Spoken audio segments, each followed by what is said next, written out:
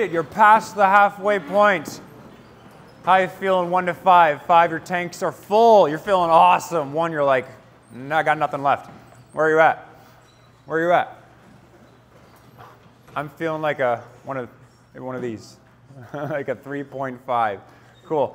But I love it. The threes are still there. I'm still here for you. We are learning so much together, and it's been a really awesome week. I appreciate all the conversations I've had with some of you outside of chapel. Um, I'm loving the pursuit of truth, not just in chapel, but outside of chapel. It's really encouraging to see. Keep chatting with each other and with your counselors about what is true this week. It's a great place to, to talk it out. Before we get started on whatever is true, we have our pun of the day. What is Beethoven's favorite fruit? Ashley? Banana.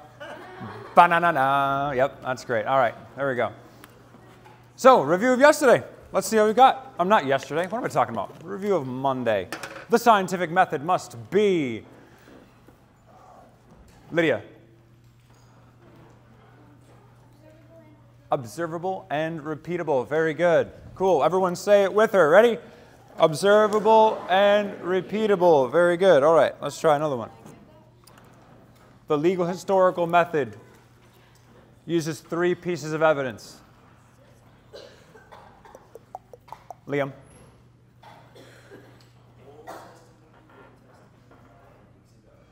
Let's say it with him. Oral testimony, written testimony, and exhibits and artifacts. Very good. Name one piece of evidence that is used to prove the authenticity of the resurrection. Ashley. Avery, Avery, Avery, Avery, I got it. I got it. She didn't need to help me. She did for the past four times. that was really bad. What? 500 plus eyewitnesses. That's very good. There's another one, a couple of them. Blue shirt right here. Yeah, what's your name? Levi, go. The New Testament. Yeah, there's a couple of books that all say the same thing. What are those groups of books? That's very good. The Gospels are really good, coming at you. And one more blue shirt, rose glasses. Say again? Bible's right on. Yep, that's including the New Testament coming at you. Oh, bad throw, bad throw. Help her out. Cool. One more. Is it Nathan? What's your name? Aiden. Sorry, go. Oh, that's big. That's big. We have 12 people, well, 11 in particular, who are freaked out and they transformed into some people that would die for the truth that Jesus rose from the dead. Very good. One more piece of evidence. White shirt, yep. The locations. You can go visit them today. What's your name? Catherine, coming at you. Bad throw. Man, I keep going to the left. Overcorrect. Got to do it to the right. Say with me 500 eyewitnesses, transformation of the disciples, and the written gospels in the New Testament. Yep. Okay. Now we're talking about the Bible. What are the three tests of historicity used to prove the authenticity of the Bible? Annika. Yes. Wow. Wow. That's really great. Let's say it with her.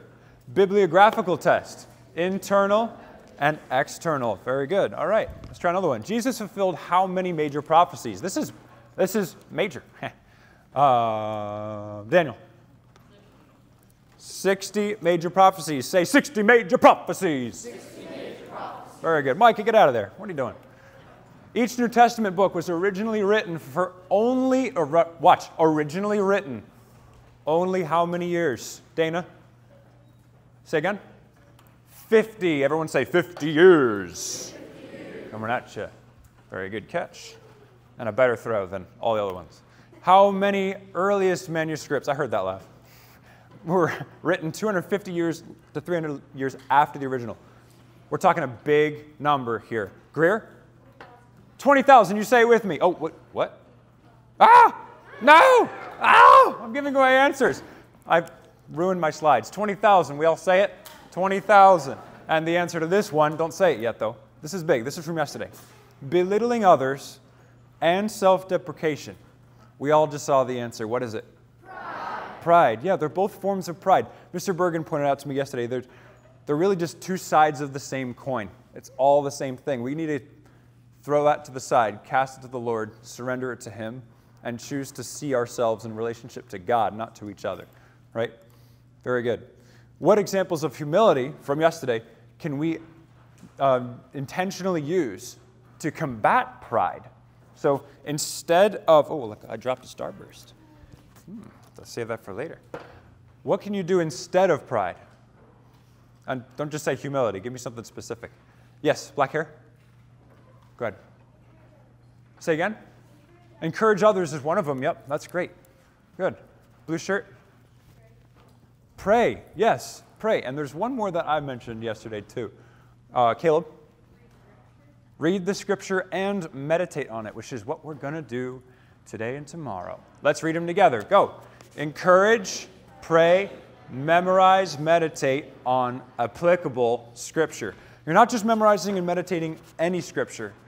When you know you struggle with something in your head or in your heart, you look for scriptures that specifically apply to that. You meditate on them and you pray through them, and God will change your mind and heart. That's how it works. It's His design. His word says to do that. We start in a minute. We're going to start by praying again. Let the words of my mouth and the meditations of my heart be acceptable in your sight. It's a biblical thing. You don't need to shave your head and wear a toga to meditate you can still meditate. As a Christian, it's a good thing to do. It's not this weird thing.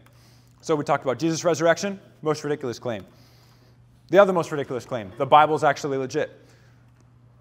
Yesterday, we talked about our public performance. I apologize. These slides were not exactly the same as yesterday. I, my slides weren't perfect yesterday, but now they are. We make mistakes. That's cool. Public performance was yesterday. How do we view ourselves in relationship to each other? And really, more importantly, how do we view ourselves in relationship with God? Fourthly, that's today. This is a mouthful. We're going to memorize this title. It's plenty of perfect private performance. Oops, I did it wrong. Plenty of perfect private practice precedes public performance. What? We're going to talk about pursuing the Lord in private. That's the short of it. And then finally, tomorrow, we're going to practice what we learned today. So today is more of the concepts. We'll talk about how they work. And then tomorrow, we're going to do them. So tomorrow, don't forget, bring a pencil if you didn't already. Always um, bring a pencil to rehearsal, and tomorrow is going to be a rehearsal of our practice of meditation on God's Word. So today, it's a mouthful. Plenty of perfect private practice precedes public performance. Can you emphasize those words when you read it with me? Ready? Go. Plenty of perfect private practice precedes public performance. You can do more. Ready? Go again. Plenty of perfect Private practice precedes public performance. Yes. So notice this, the equation. You must start in private.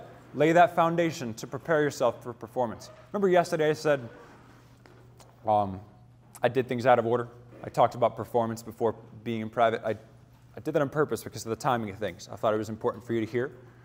But really, in reality, this conversation we're going to have today is, is even more essential that we start in private, pursuing the Lord and it's going to set us up for success when we perform for others. All right, let's pray. Lord, would you let the words of my mouth and the meditations of our hearts this morning be acceptable in your sight? We are your servants, teach us from your word. We pray this in your name. Amen. Let's read our theme verse. You say it with me. Finally, brothers and sisters, whatever is true, noble, right, pure, lovely, admirable, excellent, or praiseworthy, think about such things. Whatever you've learned,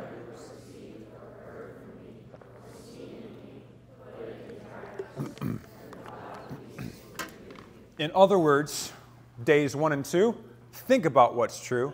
Days three, four, five, we're on day four right now, put it into practice. Let's talk about how to do it. Oh, blank blue slide. Oh, yes. Yes, hold on, hold on. So I forgot what was next. um, so we're talking about practicing today. Let's, let's talk about real briefly what it means to practice musically. You've seen, do we have any memes in the music building right now? I know we have in the past. I love, I love myself some, some practice memes. Let's read this one. Your claim is practiced. You claimed you practiced, but your instrument was here all weekend. Fascinating. Raise your hand if you've ever experienced that ridicule from your teacher in the past. Or, or you forgot your books at home when you came to your lesson. That's interesting. Hmm, hmm, very interesting. Yeah, we've, we've all done that before. Yoda, fail you will, if practice you must. Won't.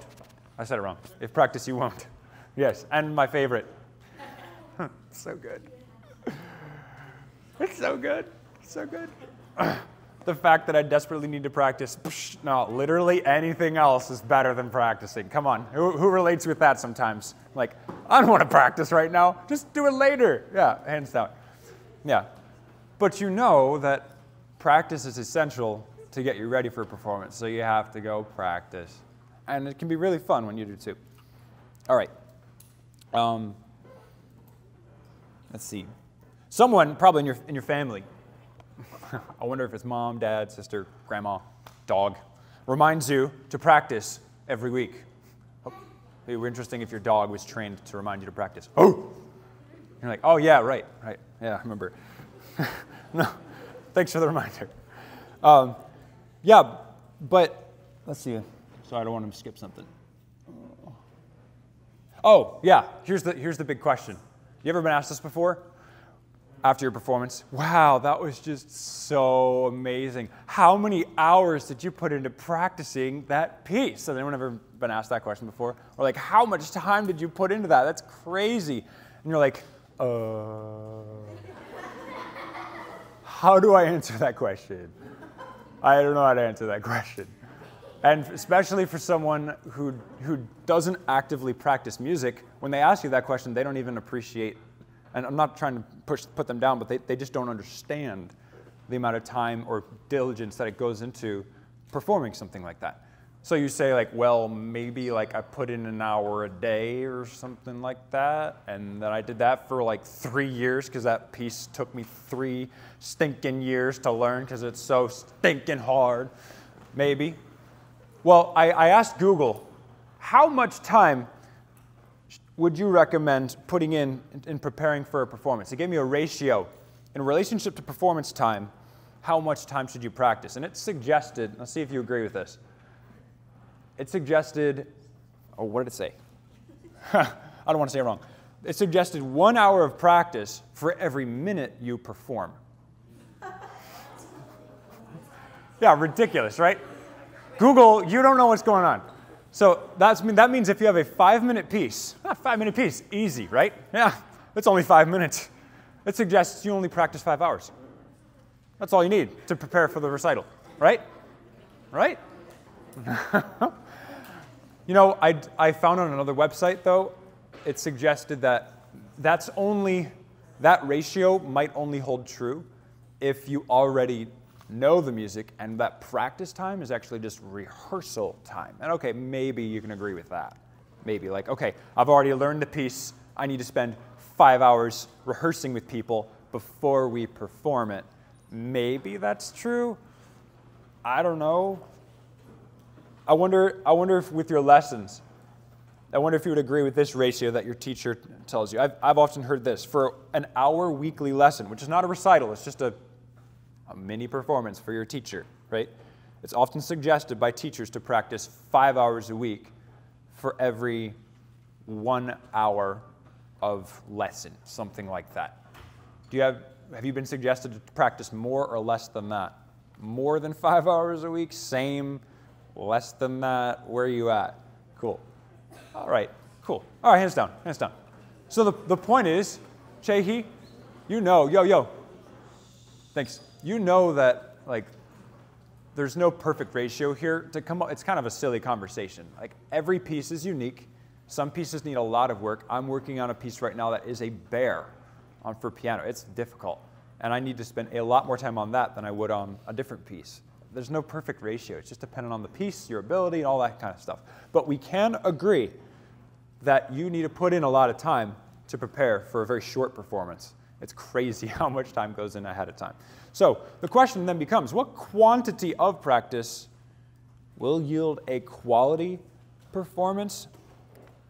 Well, maybe we need to ask another question besides that. Uh, my coach, my coach for soccer and basketball in middle school, he he said uh, he would always make fun of the saying, "Practice makes perfect." Anyone heard that before? Practice makes perfect. Yeah. And he's like, "No, you're wrong." He said, "Perfect practice makes perfect. And I was always like humbled by that. I'm like, oh, darn it, I have to do everything right when I practice. I can't just go in there and fake it. It's true. Now, when he says perfect practice, oh, oh,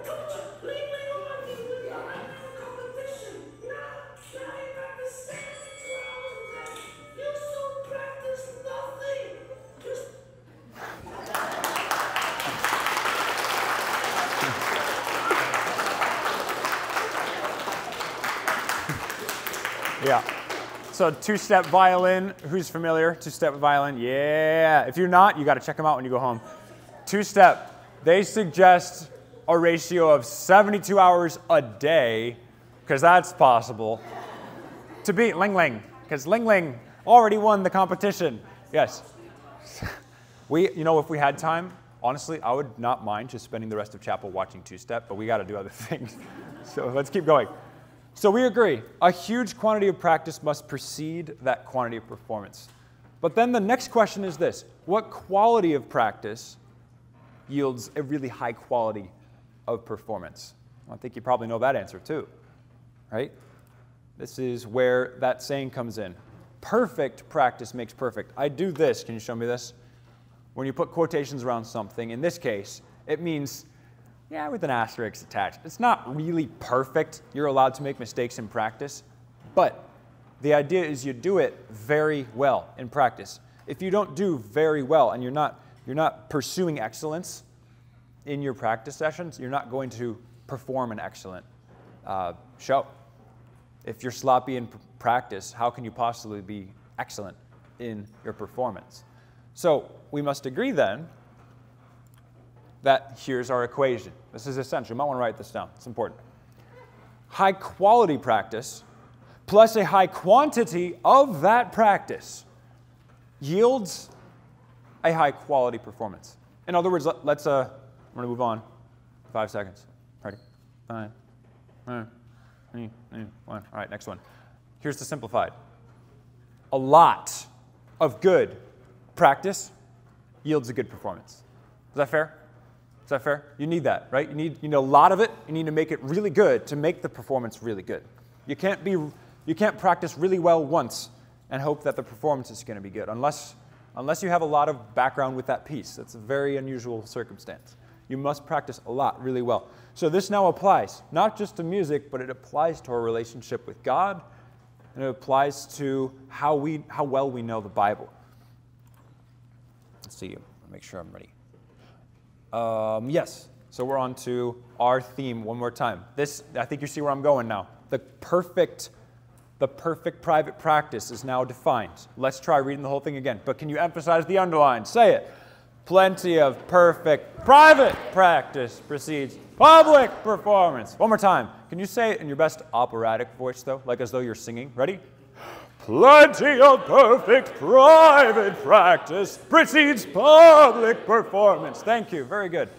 So, this means it's better to meditate or practice a small chunk of your music or a small passage of the Bible, same principle applies, than to read a huge passage or practice your entire piece and continue to mess up on the same spot.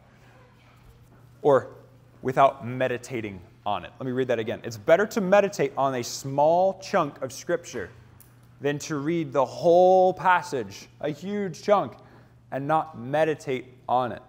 Wonder if you've been like me in most of my devotional life. When, when you sit down to read the Word, you read a chapter, you're like, oh, it's nice. You might even think, that's like, I really like what he has to say close the book, move on to the next thing. In five minutes, you've completely forgotten what you read. Anyone else been there? Yeah. It's frustrating. Like I put in the time and I don't, don't remember anything. It's kind of like it's kind of like playing through a piece once and expecting to be really good at it in the future. No, you need to actually repeat it and do it a lot and come at it from lots of different angles and make it perfect for it to stick in your head for you to memorize it, produce it, and perform it really well. The same would apply here. God's designed our brain to work well and to, to study Scripture in the same way that we could study music and other, other areas of our life. Let's see. Sorry, I don't want to skip anything again. Okay, let's be honest. This is why we're chatting about this. I always felt frustrated in your shoes as a middle schooler. Um, it's only 10 years ago. Um, I, was, I was really frustrated by this equation when I didn't, I didn't wrap my, hand, my head around it. I would just spend a good amount of time in God's Word. I didn't like it. I was doing it because I was supposed to. I guilt tripped myself into doing it. Like, I need to do this because that's what you're supposed to do. The preacher keeps telling me, you got to spend time in God's Word. And I did. And I was, I like, remember actually getting so angry once, like having this head game saying, I hate reading the Bible. I, I was actually thinking that. I hate reading the Bible. I don't want to hate reading the Bible. I want to love it. I'm supposed to love it. What's the matter with me? I hate reading it. And I talked to my mom. She said, You know what? Just take a break for a minute. Come, like, take a break for two weeks. Best advice she ever gave me. It was just a two week break. I came back to it, and she'd given me a couple of specific things I could try differently. Specifically, some disciplines, some meditation practices that helped me actually process what I was reading, not just reading mindlessly and having a horrible time reading the Word. So that's where we're going today. I'm going to try to give you some tools that changed my life when I was your age. I took a hold of them, I started reading God's Word and enjoying it. And not only enjoying it, but it changed my life. I'm so different today and every day because I read and meditate on God's Word. I'm not perfect with it. Many times I still, I'm like, oh, shoot, I got to get out the door to get to work or get on to Csehy or whatever. Uh, I've done it this week read the passage. Ah, dang it, I don't have time to meditate on it. I guess I'm going to have to close the Bible and go. But if we can meditate on it and do it right, it's going to stick and be meaningful for us. So there's six, is that right? Yep, six different tactics that we're going to try pray, read, and, oh, that's only three. pray, read, meditate. Where am I? We're going to skip this for sake of time. Interruption. Do you remember the title? Let's try to say with me. Ready? Plenty of perfect private practice precedes public performance. Very good. Let's keep rolling. Here's your six methods of meditation. First one try it. Write down right now if you got something to write, or log it in your head. Rewrite the text in your own words. Two, illustrate the text. Anyone like to draw or color? Yeah, this is full permission. As you read the Bible, try to draw or color on a separate piece of paper what you're reading. It's a great way to process. Three, pray through the text. We've actually started every sermon and finished every sermon that way, saying, Let the words of my mouth and the meditation of my heart be acceptable in your sight. Some, some texts are prayer, some texts are not, and you can still pray through them. We'll talk about how to do that. Interruption. Oh, what's our title? Can you say it with me? Try it plenty of perfect private practice precedes public performance. Say it again. Plenty of perfect private practice precedes public performance. Good. Fourth method inductive study. We're going to try this tomorrow. That's why you need your pencil. Trace the key terms. So, for example, in the book of Proverbs, a great key term to follow along with is wisdom or folly. I put a little light bulb next to wisdom because it gives me an idea. Every time I see wisdom, I write down a light bulb. Every time I see folly, I highlight it in red. Bad folly. And then I can see how those themes trace through. Fifth, gospel connection. This is really helpful with those, sorry, Old Testament, the boring Old Testament parts, right? Like Jeremiah, just finished that book. It's a bear. It's just talking about how bad Israel is all the time. But if you can connect how bad Israel is to how bad we are, to how great Jesus is, how Jesus died for the sins of all mankind so that we can have hope in him. Whoa, suddenly Jeremiah has some really important meaning for our lives. And fifthly, oh, fifthly, I can count. Sixthly, memorize the text. I'm going to show you how I memorize. We won't have time to do it today, but I want to show you how we do it. Oh, seventhly, seventhly. That's not a word. I'm making it a word. Seventhly, Philippians 4 8 to 9. That's a wrong verse. Sorry, that's our theme verse. Whatever is true, ask that question of those really tough Old Testament passages. What is true about this text? Philippians 4 8 to 9. Make that correction. I love using that for those tough ones. Let's memorize the text. Here is a really fun one that I want to show you how to do. Um, You do not have to memorize the way that I do. I memorize kind of weird. But if you know anything about music, it's one of the most engaging activities for your brain. It gets your whole brain involved. So if you can memorize God's word using music, it's going to stick. If you just use any other tactic besides music, it might stick, but you have to really work at it to keep it there. Does anyone have a, any piece of scripture memorized via music that they already know? Just you don't have to say it, just if you know it already. That's cool. It's very helpful, right? Here's what I do. I'll turn a metronome on. Click, click, click, click, click, and then I'll just start saying the words and try to figure out, okay, where does it line up with the music? Click, click. Do not merely listen to the word. Okay. So every time I see an underlined word, I put in I'm, I'm lining it up with the beat. Do not merely listen to the word, right? That's what I'm going for. Cool, snap, stop, love it. Another part, if I ever have to move really quick, I'll hyphenate words. It just helps me remember. So I'll hyphenate to just connect them all and be like, oh, that's got to be really fast. Sometimes I didn't write it in, but sometimes I'll do a little triplet bracket because I'm that nerdy. I'm burning triplets in scripture. It's, it's ridiculous. So triplet in scripture, and it helps me remember, oh, right, this is a really fast triplet. So let me demo for you. I need you, I need you to give me a good beat. Ready? One, two, give me snaps. Ready, go. My turn. Do not merely listen to the word and so deceive yourselves. Do what it says. Anyone who listens to the word but does not do what it says is like someone who looks at his face in a mirror and after looking at himself goes away and immediately forgets what he looks like. But whoever looks intently into the perfect law that gives freedom and continues in it, not forgetting what they've heard, but doing it, they will be blessed in what they do.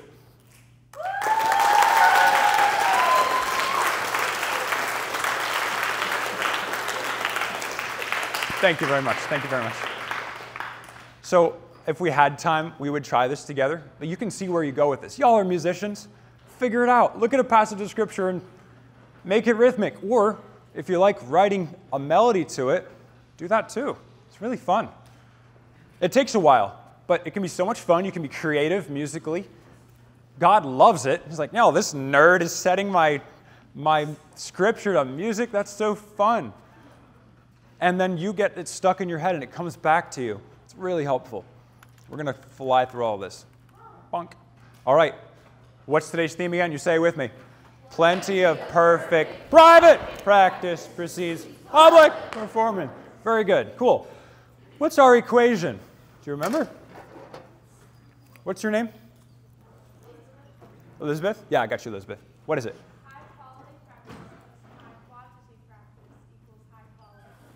Ooh, that's good. Let's say it with her. Oh, what? Why? Let's say it with her. High quantity practice plus high quality practice receives high quality performance. In other words, a lot of good practice makes a good performance. Name and describe one of the six methods of meditation. We, we had to fly through this, but let's see if you remember. Um, oh, I should know your name. You've told me. I don't remember it. Blue shirt right here. Lucas, yeah. Yeah, rewrite the text. That's a good one. That's the first one. Yep. Let's name a few others. Gray shirt. Illustrate the text. You can draw it or color it. Very good. Yeah, Dana. Yes, Philippians 4 8 to 9. Ignore the wrong reference. It's Philippians 4 8 to 9. Here you go. I don't want to hit you. All right, one more. Red, red shirt. Forgot your name. Pray through the text. What's your name again? Victoria, right, that's right. I forgot that. I'm so sorry. And the other two, we'll say them now. Let's read them all the way from the top. Go. Rewrite the text in your own words, illustrate the text, pray through the text, inductive study. Freeze, that means key terms. That's I love that one. My Bible turns so colorful when I start to do that. Next, gospel connection, memorize the text. Oh, and then the seventh one, is it there? Nope, I took it off.